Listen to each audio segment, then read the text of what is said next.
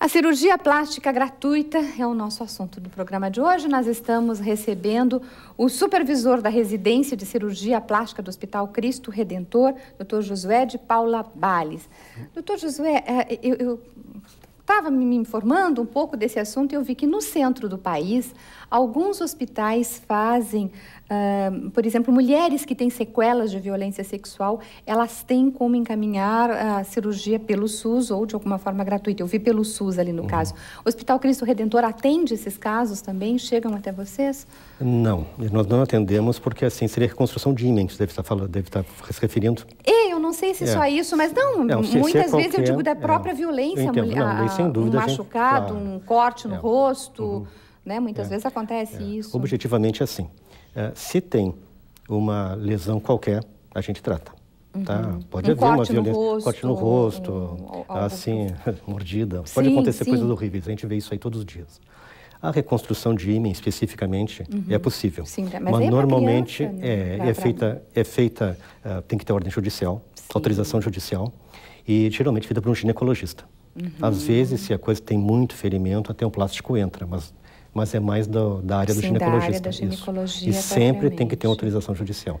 Certo, mas tá. quando entra no caso de violência física mesmo, de agressão física, que eu quero dizer, não, não somente sexual, mas como uma violência contra a mulher, ah, sim, né? daí é aí direto, pode é ser, claro. pode ser como uma como cirurgia reparadora. Com certeza. Qualquer coisa que venha de trauma é uhum. é cirurgia reparadora. E a gente vê muita agressão física contra a mulher lá. Sim, imagino. É, é muito que... mais comum do que se imagina. E aí tem queimaduras, a gente não falou também, que vocês sim, tratam lá. Sim, é o referência de queimaduras, nós e o HPS. Uhum. Praticamente no Rio Grande do Sul inteiro. Aí é mais o HPS? Os dois. Os dois, os, os dois. dois. fazem. Os dois fazem. O, o hospital, o, o, Santa Casa que tem um banco de, de peles, né? Que, que se tem, tem mas que não sei se área... lá vocês funcionam também, deve ter. Assim, nós, nós temos, não temos um banco de pele especificamente, uhum. né? mas a gente tem outros materiais que sejam uhum. adequados para tratamento de queimados. Ó, tem uma pergunta específica uhum. aqui, vamos ver se o senhor consegue uhum. responder. Mas é, a Carla, Carla daqui de Porto Alegre, diz que a filha tem sete anos e sofre com orelha em, em abano, o senhor uhum. falou, né? É. E principalmente depois da, que entrou na escola. Há uma indicação de idade mínima para essas cirurgias? Ela tem que encaminhar através do posto? Assim, primeiro, tem que encaminhar através do posto. Segundo, a idade mínima é entre 7 e 8 anos. Está na idade. Está então. na idade, porque aos 8 anos, a orelha já está quase o tamanho da do adulto. Uhum. Por isso que toda criança parece orelhuda Sim. nessa idade. Então, assim, sem dúvida, seria caso de poder, via posto, ser encaminhado para fazer essa cirurgia. E aí a possibilidade de se fazer. Exatamente. Uh, doutor, doutor Bales, hoje são muitos, o senhor trabalha assim, o senhor chefia né, a uhum. residência lá, são muitos profissionais da sua área que procuram a, a cirurgia plástica? Para fazer formação? É. É uma procura enorme. Em geral, assim, na residência tem uma média de 20 por vaga. O, uhum. o que é muito bom, quem entra na residência lá é uma elite. Uhum. Tem que ser realmente muito, muito bom, uh, muito capacitado para poder entrar na residência. Tanto assim que quando o residente formado no terceiro ano sai para o mercado de trabalho, ele tem que fazer uma prova, uma prova junto à Sociedade Brasileira de Cirurgia Plástica, que é uma prova da ele o título de especialista, vai dar proficiência para ele. O índice, o índice de reprovação no Brasil é em torno de 50%, metade do que faz roda. Tá? No nosso serviço, nunca ninguém foi reprovado. Uau! Mas fica cinco anos lá também fazendo... Né? Três anos de plástica. Três anos de do, plástica, dois de geral, seja três de plástica. A geral é... é, é geral é, é vesícula, abdômen. Não, geral. A cirurgia geral é aquela que trata, assim, uh, hérnias... Uh, colicistite, uhum. é, tá? esse tipo ah, de não, coisa. cirurgia, tá, tá, é. tá. Não, não, depois, não que, depois que ele é especialista em cirurgia geral, daí ele vira especialista em cirurgia plástica ele recomeça a residência. É uma, é uma formação bem trabalhosa, bem longa. Exige bastante. E Exige mesmo muito. assim, tem muitos. É, é uma área da medicina que está sendo muito procurada. É, com certeza.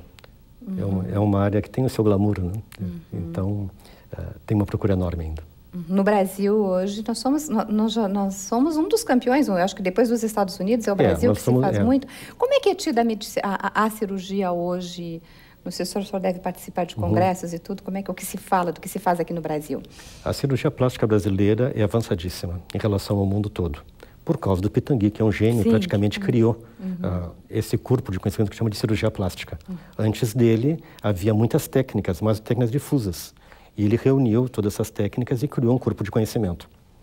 Então, assim, sem dúvida nenhuma, não, ele não pode ser o pai da cirurgia plástica, que teve outros antes dele. Uhum. Mas eu acho pessoalmente que é o pai da cirurgia plástica moderna.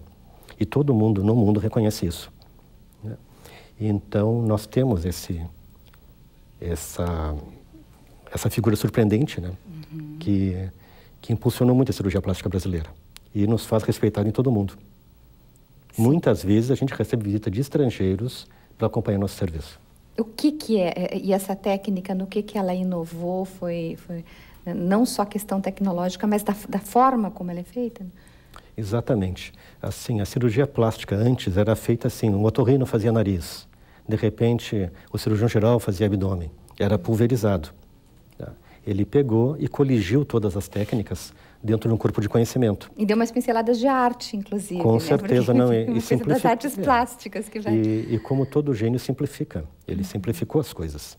Como ele dizia, me disse uma vez assim, não, as minhas técnicas, elas podem ser feitas por outros médicos, não precisa ser assim um... Elas são técnicas, são reprodutíveis. Uma técnica que dê resultado bom, mas só um ou dois cirurgiões do mundo possam fazer, não tem graça nenhuma. Claro. Tem que ser técnica que seja confiável, simples e reprodutível. Uhum.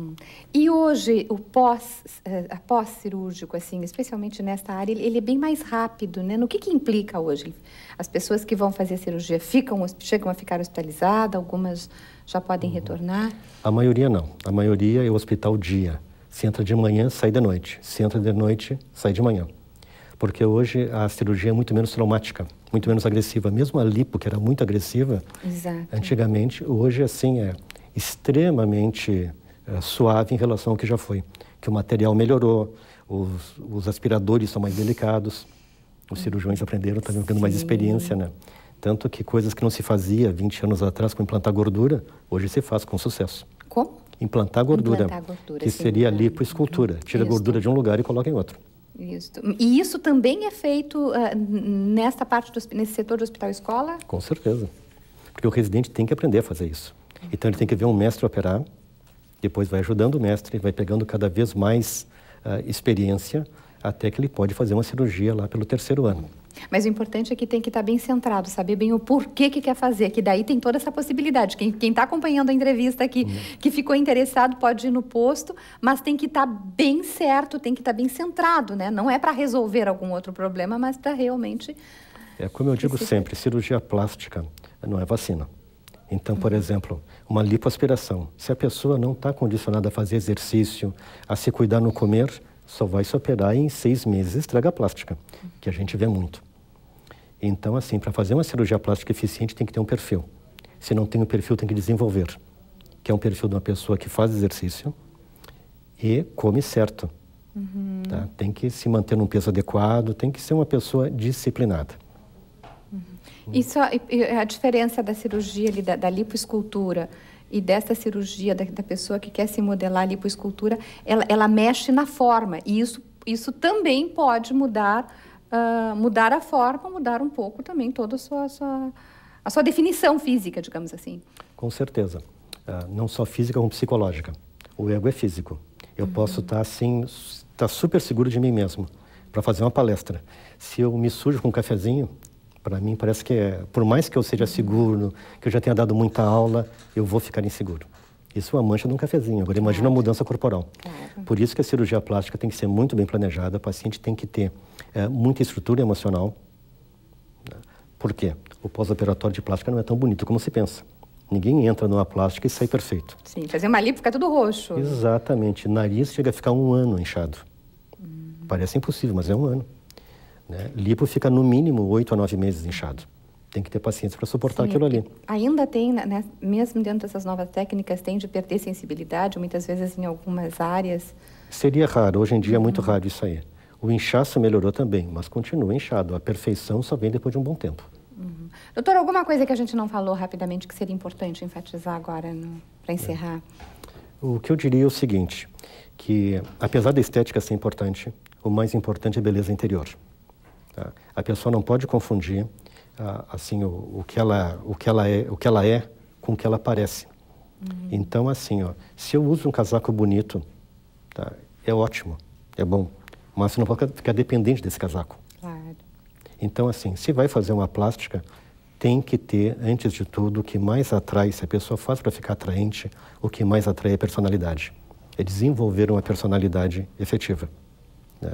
Nós temos, hoje em dia, assim, algumas, ao meu ver, alguns erros quase ideológicos que se formam. Tá? Uh, o que eu acho mais, uh, é mais errado é pensar que nós somos o que aparentamos. Então, se a pessoa não é bonita, ela não é eficiente. Isso é um grande erro. Não tem nada a ver uma coisa com a outra. O conceito de beleza pode ser muito subjetivo. Exatamente. Deixa, chega, chega a ser assim quase um preconceito claro, contra quem não é tão é perfeito. Verdade. E só que a maioria não é bonita. Padrão é exigente demais, a gente. Ah, bom, também tem isso. Doutor Josué Bales, muito obrigada pela sua vinda hoje aqui. Eu que agradeço. Até uma próxima. Até a próxima. Obrigada, como sempre, a sua companhia. Lhe desejamos uma boa noite. Até amanhã.